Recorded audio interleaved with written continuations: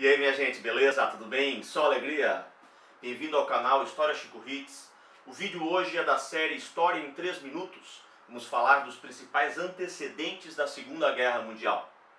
Minha gente, por que a Segunda Guerra Mundial aconteceu? Bom, vamos lembrar, em primeiro lugar, que Mussolini na Itália e Hitler na Alemanha haviam chegado ao poder com seus regimes fascista e nazista.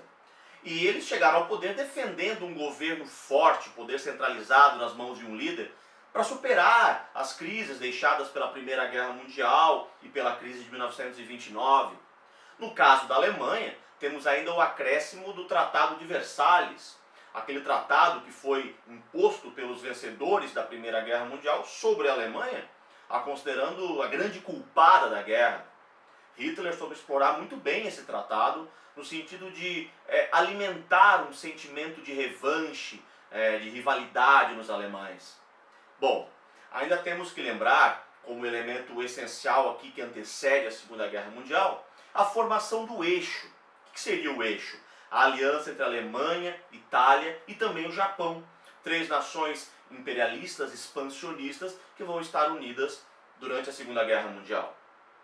Antes ainda do início da guerra, nós temos o Tratado Germano-Soviético de Não Agressão. Aquele tratado que Hitler da Alemanha fez com Stalin da União Soviética, é, de que ambos não se agrediriam, não se enfrentariam numa possível guerra. Na verdade, trata-se de uma estratégia expansionista de Hitler, para deixar os soviéticos tranquilos, mas na verdade Hitler vai invadir a União Soviética mais tarde. Bom, gente, nós temos que lembrar ainda da Guerra Civil Espanhola. O que, que foi isso? Aquele evento que levou o general Francisco Franco, também um fascista, ao poder na Espanha e que contou com grande apoio de Hitler e de Mussolini. Temos que lembrar ainda do fracasso da política do apaziguamento. O que seria isso? A Liga das Nações, aquela organização criada ao término da Primeira Guerra Mundial para evitar que uma nova grande guerra acontecesse, não conseguiu impedir a ascensão de Hitler, de Mussolini, não fez nada de maneira concreta para impedir isso.